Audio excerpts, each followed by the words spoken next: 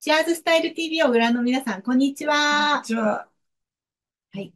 本日も、えー福岡からですね、三住珠代弁護士、ゲストにお迎えいたしまして、チアーズスタイル TV お届けしていきたいと思います。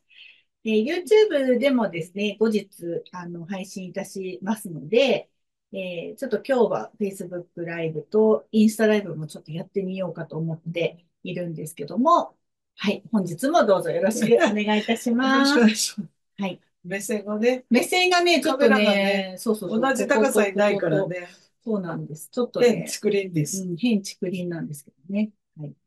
そしてですね、今日のお題、はい。な今日のお題、はいお願はいあの、い本ろいろ、本、いろんな、あの、いつもありがとうございます。いろいろと。ね、毎回お題をいただいて、はい、はい、ありがとうございます。毎回勉強になりますけど、私自身も？もう先生もね、いろいろ調べていただいて、法律の方方面か勉強ら。になります。はい、ありがとうございます。はい。はい。えー質問が来ています。はい。お題お願いします。はい。えー一人暮らしの高齢者の飼い主が、はいえー犬や猫などのペットを残して亡くなるというケースが増えていると聞きました。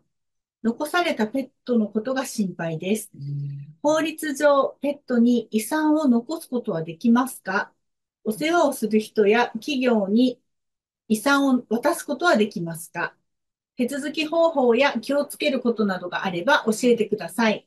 ということで、お問い合わせが来ています。はい。今もうペットが、あの、コロナ禍かうらん、もうペットと一緒に暮らす人がすごく増えてますよね。で、今やね、はい。家族だよね。家族ですよね。うん。だから、あの、今やっぱり問題になっているのが、えー集合住宅で、うんまあ、ペット不可というところが、今少しずつその組合の決まりが変えて、変えていく変更して、ような、あの、なんかですね、うん。結局、まあ、分譲マンションだったら、あの、ペットが買えるかどうかで、その資産額が変わるらしいですよ。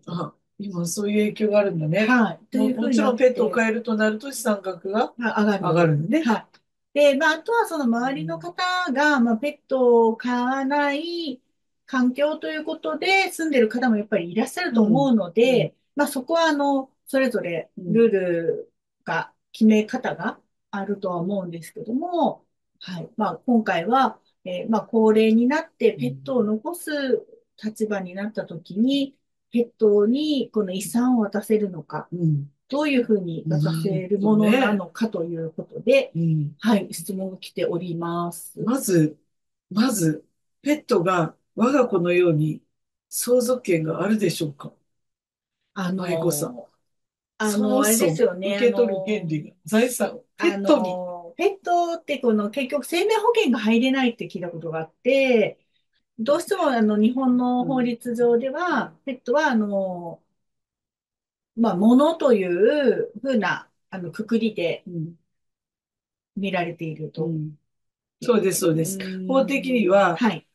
まあ本当にペットは今や大切な家族の一員となって、日本では特にですね、なってますけど、まあ、法的にはやっぱり扱いとしては人ではなくて動産ですよね。ものなんですよね。なので、まあ、ペットに直接金銭を相続させるとうん。いうことは不可能ですね。うん。まあ、それはね、まあ、もらったとて、ペットが まあまあ、そうですね。銀行に行って、ね。ね、買い物もできないしファンタジーな話になっちゃいますけどうん、ペットが窓口に窓口に行ってお金下ろすとか、運用ワンって言ってね。にゃーとかうん、はいっていうぐらい言の話をしないとちょっとイメージが湧かないと思うんですよね、今日のお題の。ね。じゃあどうしたらペはいットがはい。その後も、うんまあ、大切に、はい。えー環境変わらずというか、はまあ、全う、寿命をですね、うんまあ、全うされるかっていうところが、まあ、飼い主、はいまあ、先先に亡くなられる場合にね、あのうん気になるところですよね。はい。で、まあ、考えられるやり方としては、あの、いくつかありまして、はい。まあ、あの、負担付き遺贈っていう、はい。まあ、遺言で誰かに財産をあげるんですけれども、はいその時に、このペットの飼育をしてもらう代わりに、まあ、その飼育を引き受けた人に財産を残すっていう遺言、それは家族じゃなくても。できます。おー。うん。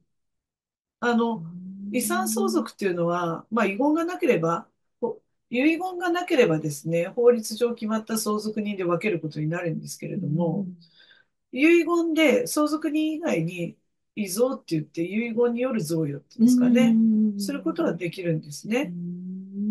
はい。で、その時に負担付きって言って、ただではあげないぞっていう、その、もらうには負担がついてるぞっていう、その負担部分がペットの飼育と。なるほど。まあ条件みたいなもんですよね。負担付き遺贈。負担付き遺贈という、まあ、もう大変わかりにくい言葉になってると思うんですけれども、まあ、ただこれがまた難しいのはですね、はい問題点があるのはですね、はい。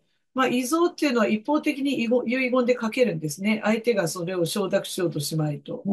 なので、一方的にまあ書いて、そういう、亡くなった後にそういう遺言があると、誰かにこう教えてもらった時にですね、まあ、その遺言で受け取ることを放棄することができるんですね。うんえ、そんなのいらないよって、そんなペットも飼育できないから、そんなのあできないよって言って断ることもできます。なので、ちょっとなかなかその負担付き遺贈っていうのでは、一方的な贈与ではちょっと達成しにくいと。はいまた心もとない。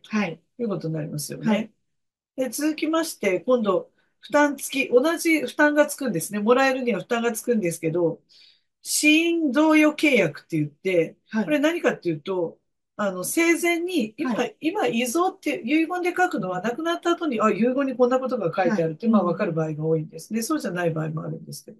で、それだとさっき言ったように、おいおい、こんなのもらっても、ペットは見れない。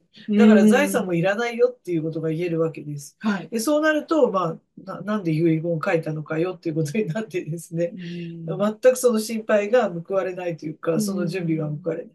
で、その場合、そのために確実にですね、自分が亡くなった時にペットの飼育をする代わりに財産をもらうっていうふうにです、あの、に、いうふうに生きてる時にですね、はい。えっと、受け取る人と契約をしておくんですね。負担付き死死因贈与契約。契約なので、もう最初に生きてる時に受け取る側と、まあ、あ与える側で契約を交わしておくんですね。で、えっと、これは契約なので、えー特段の事情がない限り、き合意っていうのは破棄できないんですね。まあ、その初めにあった、うんあの、負担付き、どうぞ、うん負担付き遺贈っていうものであれば、あの、相手の一方的了な意思表示だかららずにに、かける。かけるというそうですね。で、遺言今のを。負担付き死因贈与契約ってなると、うん相手の合意を取ってはい契約をするという、そうなんですあ。なたに頼むよと。そうです。分かったよという。で、これは、そのうん契約は簡単に破棄できないから契約なんですけども。はい、そうまあ当ですね。然ですよね。ええ、ええ、え。経営者だったらわかりますよねはい。契約っていうのは簡単に破棄できるんだ契約の意味なんですね。なので、まあ、あ意味があります。ただ、あの、気をつけなければいけないのが、口頭ではダメ、あの、ダメっていうか、口頭では心もとないので、ちゃんと書面にしておきましょうということになります。で、まあ、ただ、もっとですね、もっとこう、単純に、なんていうんですかな、あの、やれるのがですはね、信託。はい、信託。えちゃん聞いたことあります？はい、あります。じゃあちょっとどんなものか説明してお知り合いとか。はい、が、たまたまう、んそのペット信託っていうのをやっている人がいて、で、信託してる方じゃなくて、受け取る方、受託信託の仕組みをを運営してる人。運営してる。うんそれはそのまんまですね。そうなんですよ。今日のお題の。で、私ちょっとペットがいないので、よくわからないです。その、ちょっといよく、信託っていうのも、なんか保険みたいな感じだったと思うんですけどね。まあ、要するにですね、信託では、まあ、元の飼い主を委託者、委託者と言って、それを飼育を引き受け、飼育を引き受け、受ける人を受託者という、して、信託契約というのを結ぶんですね。で、その際に合わせて、ペットの飼育をお願いする、どのペットの飼育をお願いするかの取り決めを行い、飼育費用を信託財産として専用の口座に入れていくと。なるほど。うん。で、信託契約って、そのやっぱり何に使ってもらうかっていうのをものすごく具体的に特定するところにこう、信用があるじゃないですか。はい。そのためにそれをお金を受託し、あげ、預けて、そのように使、使われ、その目的にしか使われないから、うんまあ意味が。安心して、そこに、まあ、貯金というか、ええ信託をしていくっていうことですね。はい。なので、これを受託者、飼い主、あの、これを受け取っ、ペットの世世話を引き受けた人は、その対価として信託財産から飼育費を受け取ることができるということですね。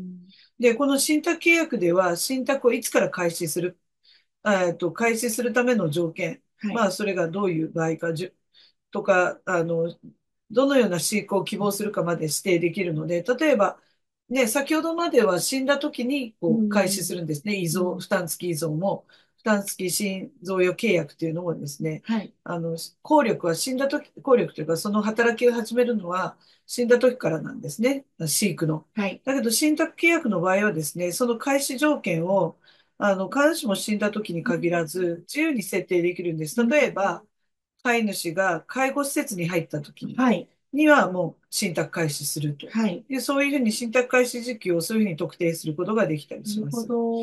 また、ペットの飼育だけではなく、えペットが亡くなった後の葬儀方法まではい。あの指定することができるということで、かなりこれが柔軟で、具体的でですはい。ね。で、やっぱりどういうふうな飼育をするかって、わかりやすいしあの、なんていうか、死亡に限らないというところうん。で、そうですね。確かに施設に入ってしまったうんり、長期入院とかですね。あるいはもう自分が成年後見、非後見人といって、要するに判断能力がなくなってしまったりし、という時はなかなか飼育っていうか、お育てが心もとないでしょうからね。うんそういった意味では本当にこの信託契約、まあお友達がその運用、運営っていうか、はい。をされてるっていうことですけど、はいはいこれが一番安心っていうか。信託契約がうんそうです。なるほど。ただですね、費用がかかると。まあそうですよね。はい。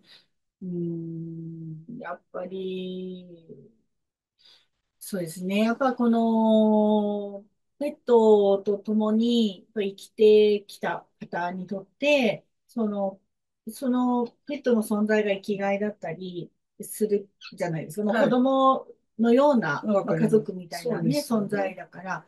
ただ、やっぱり自分がその世話ができないとか、その万が一のことがあったりとか、いうことを考えたら、やっぱ不安を抱えて高齢者とかになると、どうす、どっちがその長生きするかで、人生がやっぱりこう責任も出てくるから、そういう時に、まあその、この信託っていううん。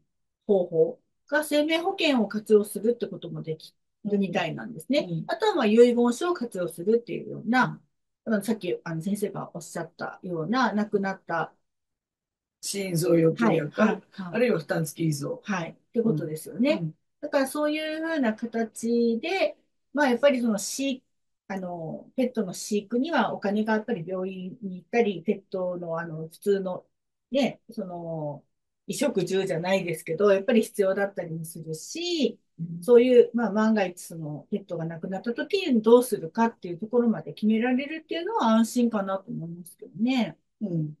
だからやっぱりちょっと費用の余裕がないと厳しいな。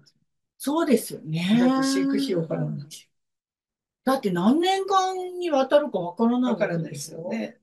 まあだってうん遺贈とかそういうのはこう財産がある、もう大体持ってるものが全部っていう感じだけども、はい。信託っていうのはその飼育費用っていうのが次々かかっていくから、はいまあどっちがメリット、まあどっちにしても費用がかかるものではあるので、うん予算はいりますそうですよね。やっぱり、まあ、あの、生きてても、あの、ペットと一緒に暮らすっていうのは、やっぱり、あの、余裕がないと、生活に。やっぱりそれはあるかなとは思うんですけどね。でも本当に、よ。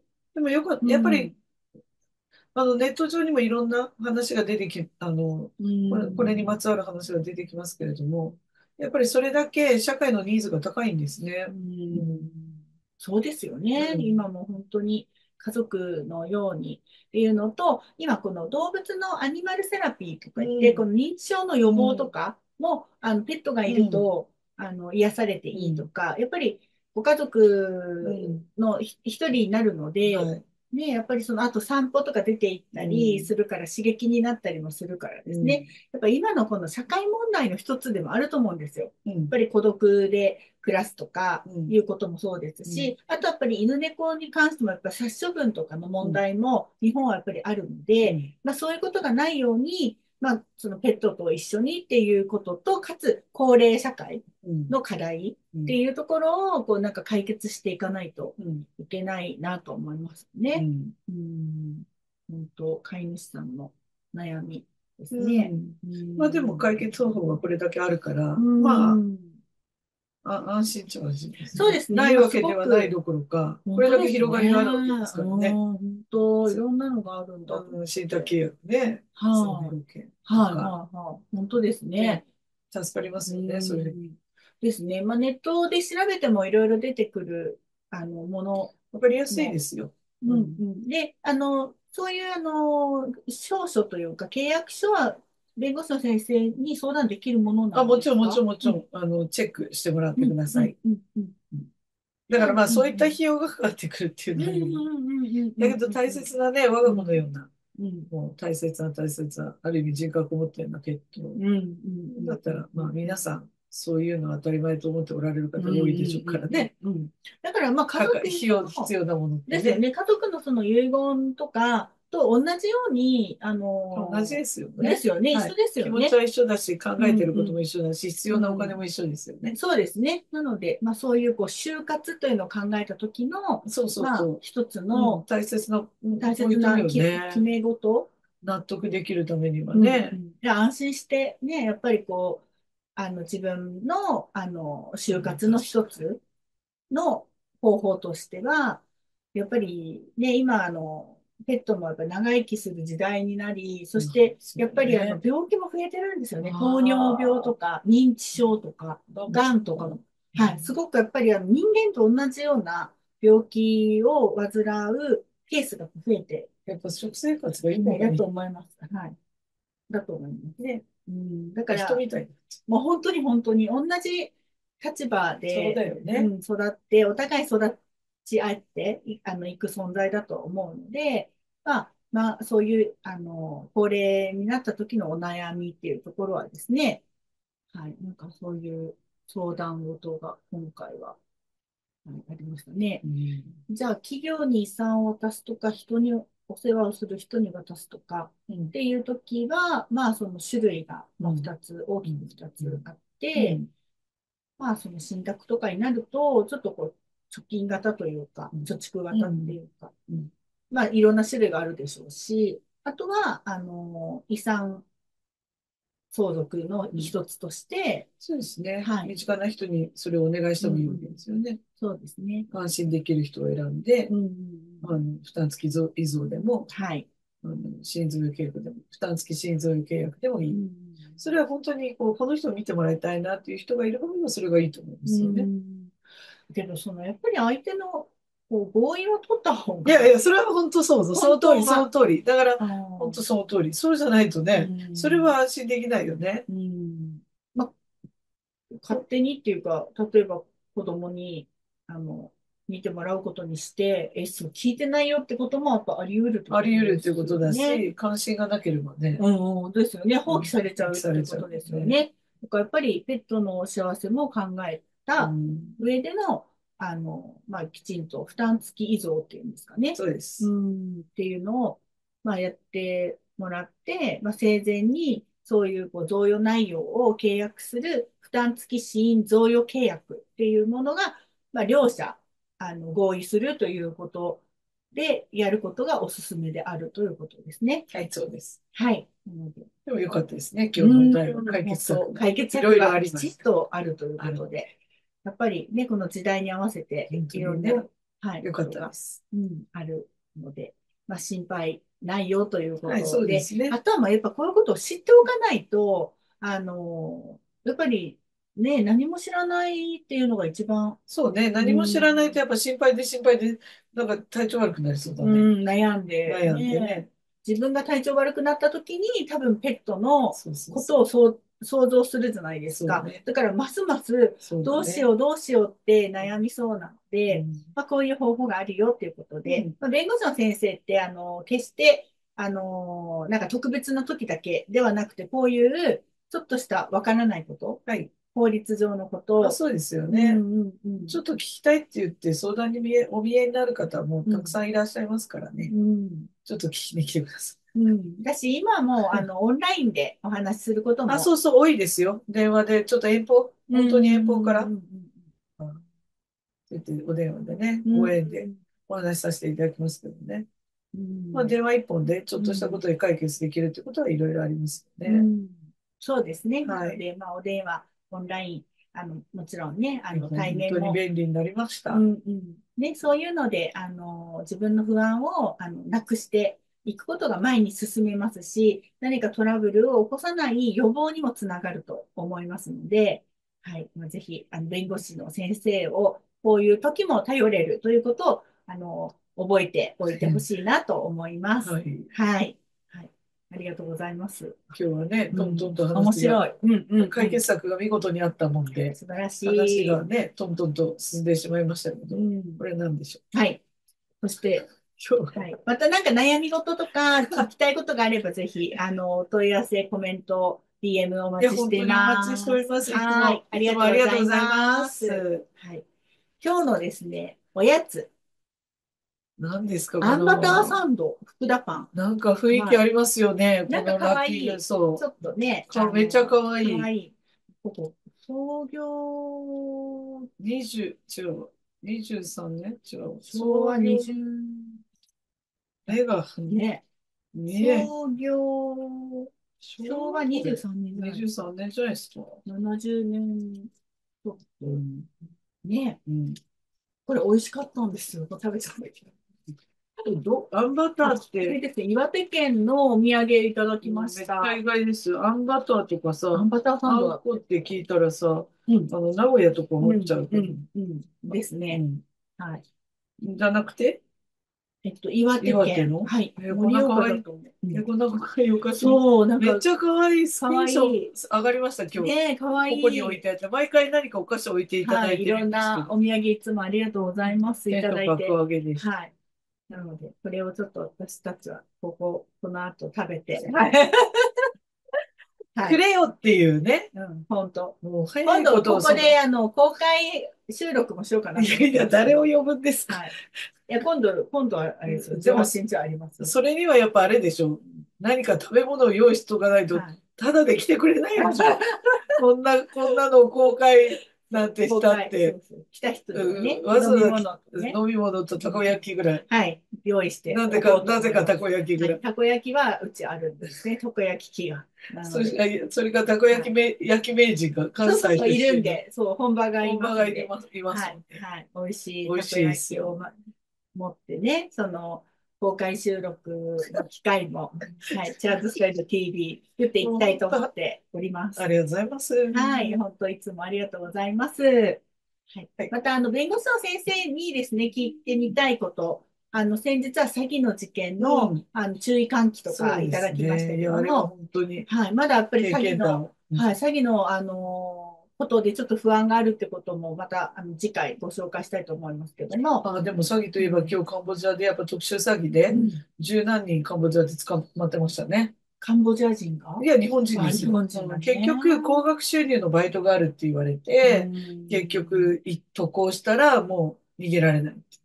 それは受け子っていうか、うん。詐欺の詐欺のお金を受ける受け子とか、そういうのだったっていうことですよね。まあはね、あの、騙すために、その騙す人を騙して、確保して、逃げられない逃げられない怖いですよ。だからやっぱ、あの、ちょっと軽々しく、やうんっぱそういうので近づかない。稼ぐっていう言葉にね、乗ったらダメですね。ね、でも楽して若稼い、若いとね、若い子とかそういうのぐ。いや、まさに、ままさかにその被害者っていうか、まあやっぱ知識がないからね、そう経験も。うんそういう若い子ばっかりですよ、そうで。しょ。だからね、ちょっとやっぱり、ね、そういうことが自分、まさかね、そんなはずじゃなかったってことにね、どうしてもなってしまうので、そうならないように、あの、情報はしっかりそう取って、ですね、常にね。うん、自分が関心がない情報もやっぱ取っておくべきだと思います。うん。あの、関心のある情報ばっかりやっぱり、あの、偏ると YouTube とねかも偏ってくるのが今の、あのね、時代として、そうなんですよ。そっか、新聞だと偏らないね。新聞読んでるとまんべんないからうんうんからやっぱりそういう意味で、新聞とかテレビのニュースとか、あの、そういうものって必要で、自分で選ばないうんものも、あの、一つの情報としては大事だし、インターネットのいいところは、こう、関心があるのが芋づる的に出てくるじゃないですか。うんうんうん好きな音楽深掘りは。できるんだよね。そうなんですよ。スポーツとかでも。なるほど。だけど、やっぱりこう、もっと広く、知っておかないと、あの、ね困ることも出てくると思うので、やっぱりまあ社会人になれば、あの、そういうバランスよく、いろんなジャンルの情報を、やっぱり、あの、きちんと気を配って言っておかないといけない。まあ、普通の会話上も、そういう知識があった方がですね、すね。あの、世間話っていうのもできると思うので、まあ、しっかり勉強していくことも大事かなと思います。はい。本日もお忙しい中ありがとうございました。ありがとうございました。また皆様のあの感想やリクエストはいのコメントお待ちしております。お待ちしておりま本す。日もご視聴いただきましてありがとうございました。ありがとうございまそれでは、はい、えー今月も楽しく、まあ、いい季節に入なって、そうですね。素敵な10月に。ね、ようやく秋らしそうはいね。く、クーラーなくしい、て、うん、やっと、やっとね。ね、なので、まあ、あの気持ちよく、はいあの、美味しいもの食べてですね、すね。はい、仕事にスポーツに趣味に精を出していきましょう。ははい、い。ということで、ハブはナイスナイスデー本日もありがとうございました。ありがとうございました。